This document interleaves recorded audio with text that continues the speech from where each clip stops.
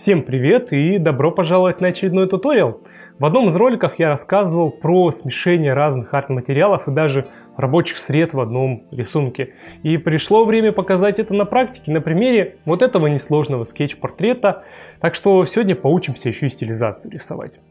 Для основной части работы нужны будут гладкая бумага А4, клячка и пара графитных карандашей, желательно около 5Б. Ну а что надо для завершающего куска работы, я расскажу чуть попозже. Для построения скетча я использую технику из прошлого видео.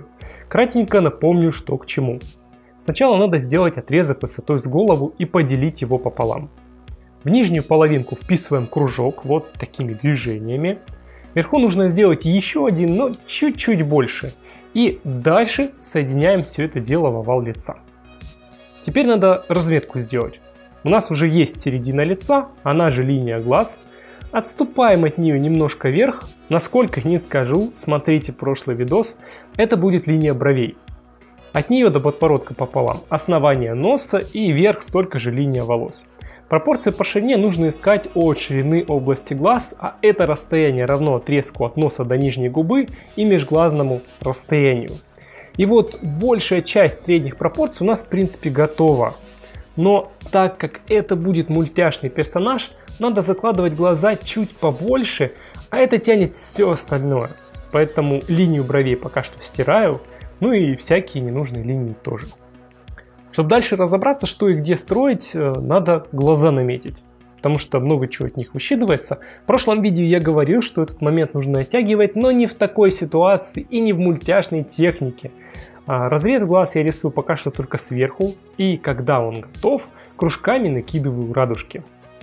С границами нижних век нужно быть осторожными. Э, из-за того, что свет обычно сверху падает, у них граница с глазом подсвечивается и ее почти не видно. Именно поэтому я их вот так нарисовал, еще и с подворотом верхнее веко. Эти приемы используют многие мультипликаторы. Пока что глаза нужно оставить. Этого уже достаточно, чтобы нарисовать нос. Я начал строить его от примитива овала, примерно равного по ширине промежутку между глаз. Внизу рисуется вот такая петелька а лук Ивана Царевича и по бокам делаем ноздри. Как видите, всю вот эту конструкцию я разметил чуть-чуть ниже ранее отмеченной линии, чтобы массив губ и носа сделать визуально меньше. Это тоже популярный прием из мультипликации. Губы отмечаю с разреза примерно на одну треть от подбородка носа. Можно сразу и улыбку поставить. Как видите, опять строят примитивов от валиков, и тут есть нюанс когда обводите эти валики, не надо доводить до самого края, особенно нижнюю губу, потому что по краям губ сверху и снизу есть такая маленькая ступенька, и вот именно мы ее мы по сути рисуем. Но по краям ступенька меньше становится, можете прям часто себе проверить. Вот. Ну а я тем временем намечаю брови. Решил их сделать вздернутыми, чтобы появилась эмоция такого, знаете, доброго недоумения. Мне кажется, это прикольно конструкцию бровей сначала заложил одну общую линию и дальше на ее основе сделал силуэт примерно вот так. Что еще тут осталось? Надо скорректировать силуэт лица. Еще одна дань традиции из мультипликации это очень узкий подбородок у девочек, что я сейчас и пытаюсь изобразить. Низ заузил, верх расширил. В итоге большие глаза, узкий подбородок, компактный нос и пухлые губы. Получилось не натурально, но зато гротескно. То есть мы преувеличили э, все те черты, которые характерны для девочек. Ну и вроде бы неплохо получилось. Уши, кстати, я их тоже уменьшил, потому что а, в этих пропорциях расстояние от носа до бровей очень большое. И если по классическим правилам делать, получается ну, какая-то лопоушка, оно нам не надо. Верх ушей делать не стал, потому что я их перекрою потом прической. Ну и шею тоже наметил. Она делается опять-таки гротескной, подчеркнуто узкой. Я даже, наверное, широковато сделал. Ну что, какое-то первоначальное ощущение от персонажа у вас уже, наверное, появилось. Наверное, взгляд пустоватый, да? Это потому что нет зрачка и бликов. Блики я обычно рисую маленьким кружком или прямоугольником в самом верху. Зрачок, понятное дело, круг.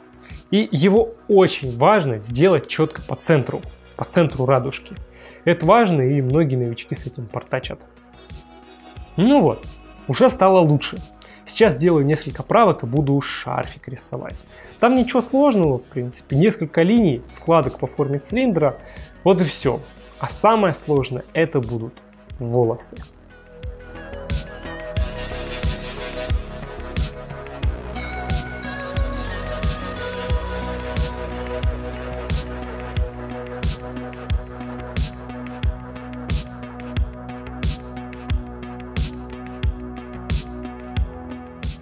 Итак, волосы. Перед тем, как их чистовую рисовать, я сделал несколько дизайнов и остановился на пышных локонах с эффектом ветра. По сути, сейчас я просто копирую то, что у меня на прошлом рисунке было, использую для этого методы сравнительного измерения, отвесов, связанных форм. Вот, кстати, подсказочка для тех, кто не в курсе, что вот это все такое. Рисовать лучше бледно, широкими штрихованными линиями. Карандаш удобнее всего средний взять и держать за кончик, тогда точно бледно получится. Строить прическу можно вот так, по локонам, как я сейчас, или сначала приблизительно общий силуэт наметить по ширине и дальше уже возиться с тем, что внутри. Оба варианта хороши и что там, что там, надо следить, чтобы линии были плавные. Изгибы аккуратно один в другой перетекали. Тогда будет вообще огонь.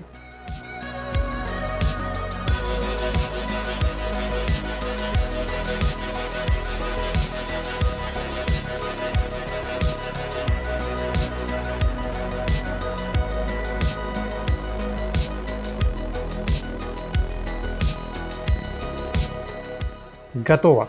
Следующим этапом работы будет покраска. Первыми сделаю волосы, и они будут темные, поэтому, чтобы не потерять драгоценные линии, их нужно усилить. Сейчас я сделал пару исправлений в овале и начинаю все это дело обводить. А если будете рисовать вместе со мной, делайте темнее, чем я сейчас, потому что мне тона не хватило и пришлось потом внутри локонов во время работы отвлекаться и постоянно добавлять. Локоны волос не обязательно обводить точь в точь. Можно старый контур использовать просто как такую основу и делать более-менее интересный динамичный поворот. Это очень важно. Именно это я сейчас делаю. Мои движения резкие, уверенные, как будто я line art на планшете рисую. Чтобы таким макаром делать сложные изгибы, приходится сам изгиб делить на части и прорисовывать за один раз только один поворот. Сложность в том, чтобы попасть одной линией в другую. С нахрапу может не у всех такое получиться, поэтому потренируйтесь. Даже если не будете рисовать конкретно эту работу, такой прием вам пригодится. Можно сказать, что линейная часть рисунка готова. Дальше будет самый долгий кусок работы, работа с тоном. Сейчас я покажу несложный способ, как можно раскрасить темные стилизованные волосы. Итак, сначала надо сделать черновую тоновую подкладку. Я делаю ее вот так огрызком карандаша со скругленным кончиком. Длинный, но круглый грифель – это важно. Если его держать вот так, как я сейчас, можно рисовать относительно темные, но широкие линии. Это здорово экономит время. Круги делаю небольшие, непрерывные. Желательно, чтобы они еще и круглые были, а не вытянутые. В чем фича вот этого всего? Почему просто крест-накрест, например, не сделать?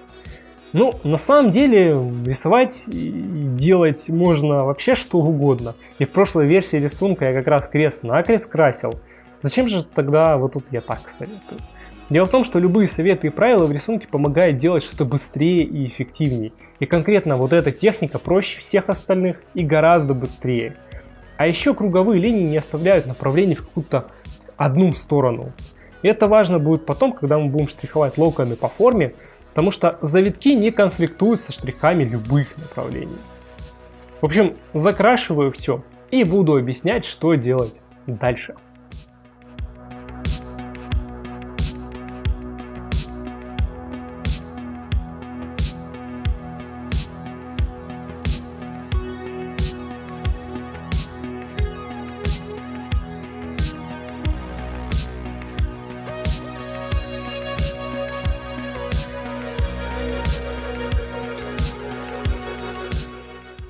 Окей, вроде бы готово.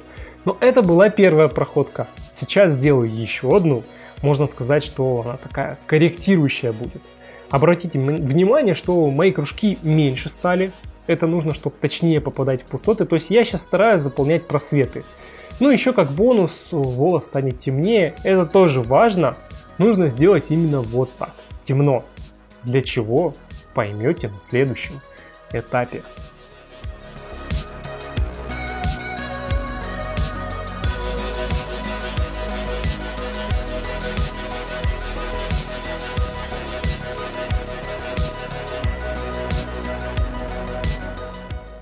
Готово! Ну что, сейчас шок-контент. А, берем в руки клячку, небольшой кусочек, желательно его вот так скатать перед этим, немножко попачкать. И я начинаю стирать вот так вот. Вот так вот. Прокатываю по волосам, как будто тесто делаю. Убирать нужно небольшими кусками, тогда более и менее равномерно получится. В тех точках, где пятно формируется, просто почаще прокатываем. И когда клячка забивается, нужно немножко ее в руках побегать. Зачем все вот это, спросите вы, почему вот сразу нельзя было просто темно-серым сделать? А потому что, когда клячкой прокатываешь, она убирает еще мелкие пятна. Не все, конечно, просто меньше становятся. И еще получается текстура вот какая-то своя. И это то, что надо для следующего этапа.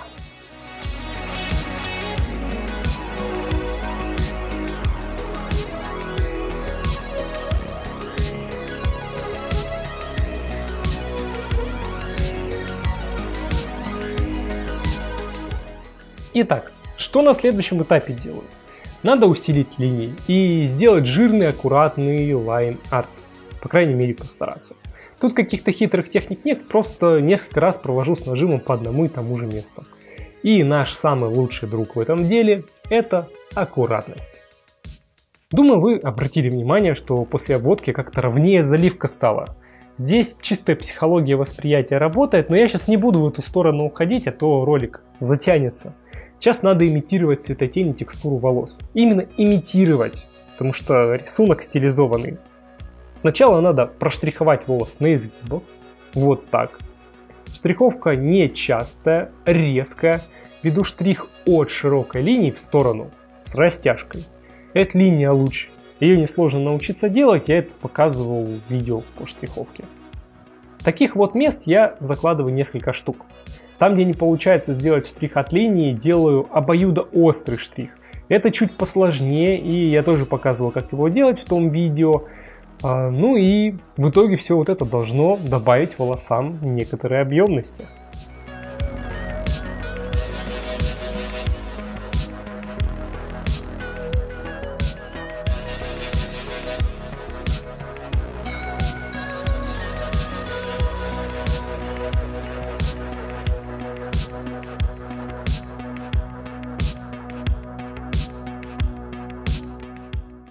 Сейчас я уже заканчиваю со штрихами и буду почти черным сплошным закрашивать 4 нижние пряди. Это тоже объемности добавит. Закрашивать можно двумя вариантами. Первый. Сильно нажимаем на карандаш, чтобы сразу получить почти черный цвет. Красим короткими движениями, плотно. Руку можно не отрывать, когда направление меняете. Минус такого способа, ну, не очень однородно получается. Поэтому я его только в самой узкой части использовал, возле уха. Ну а второй вариант это классическая многослойная штриховка. То есть делаю отдельные полоски очень плотно, примерно в 2-3 слоя. Чтобы случайно не залезть на лицо и все там не попортить, предварительно делаем широкую полосу. Она, кстати, не только для защиты нужна, но еще в целом для рисунка. После того, как вот с этими фрагментами закончу, еще немножко штриховки добавлю и чуть-чуть тирану волосы для плавности.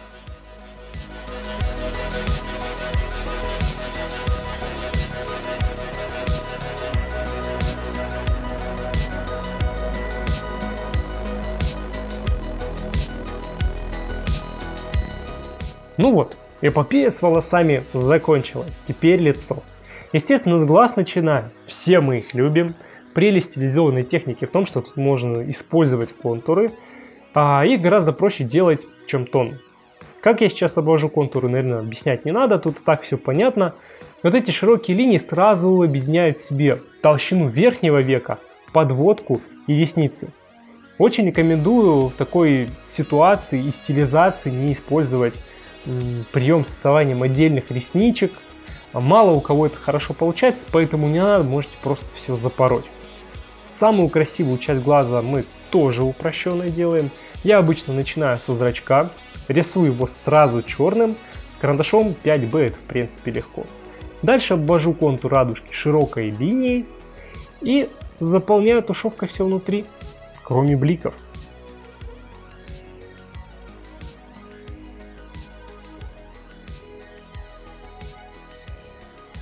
Вуаля! Глаз ожил.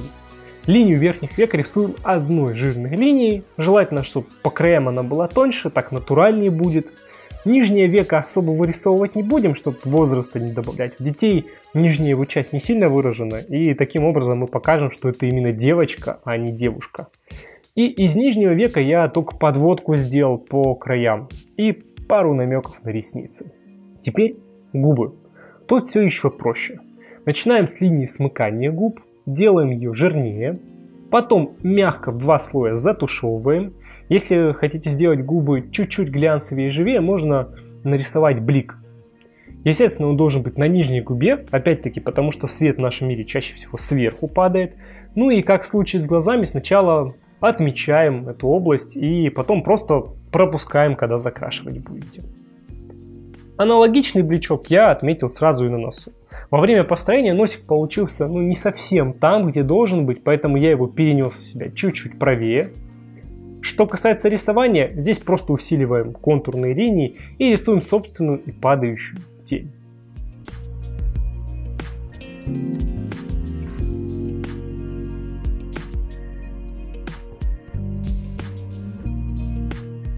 Хорошо, все самое важное, кроме бровей, я цветом уже показал. И теперь немножечко тона нужно дать, чтобы э, какой-то минимальный рельеф на лице появился.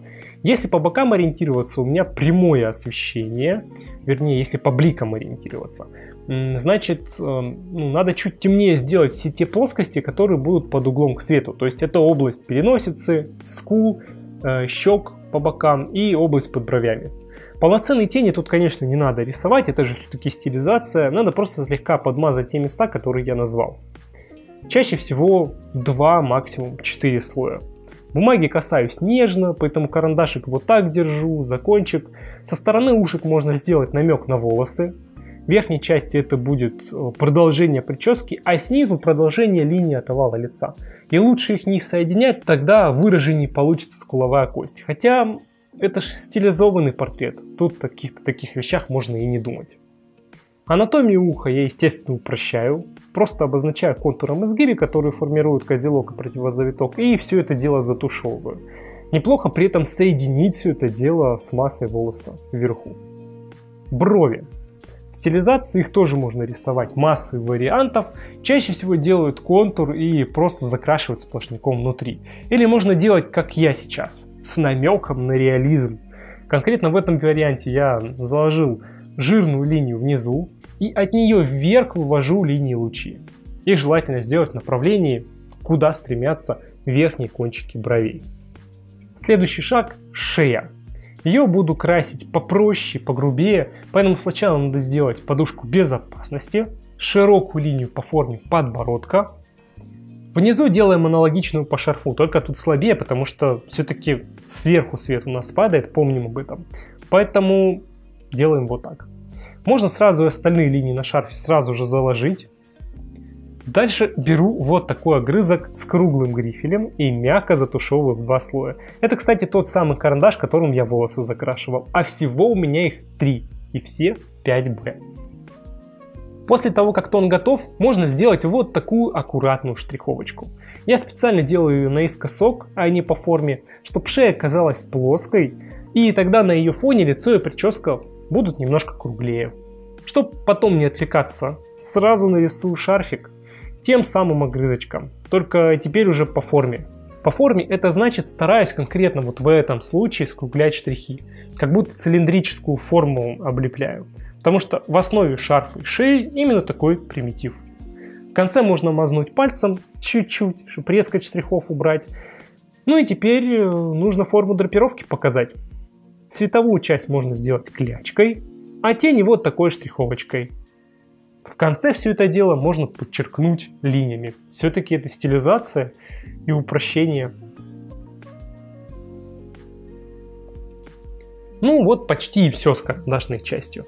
Еще немножко тона сейчас заложу в ушах. Тут все просто и на лице еще. Здесь сначала подбородок. Его можно вот такой полоской оттенить, не до конца.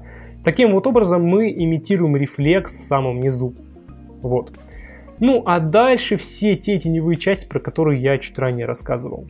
Штрихуем аккуратно, по форме. Когда рисуешь молодежь и особенно девушек, бывают проблемы. Вот как по форме заложить штрих, не всегда понятно.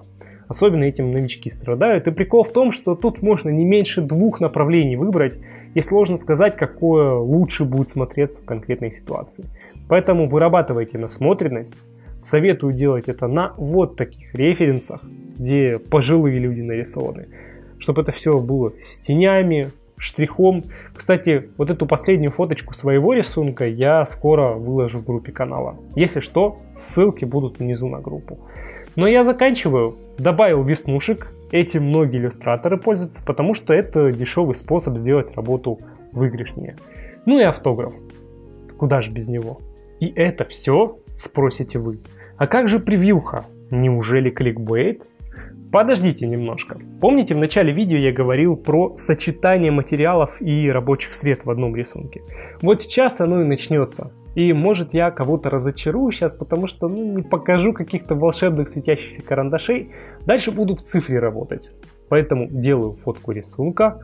Ну а для редакции выбрал все-таки первую версию. Она мне больше нравится.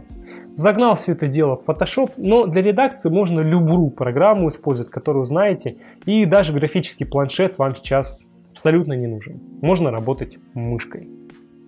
Итак, перво-наперво надо сделать рисунок потемнее, чтобы белый чуть темнее стал. Для проверки можно тыкнуть пипеткой по листу, и на цветовом креугольнике или кубике должна быть четверть серого. Если что, пипетку можно вот тут вызвать. Убавлять тон лучше всего через яркость, контрастность. Скручиваем только яркость и проверяем себя.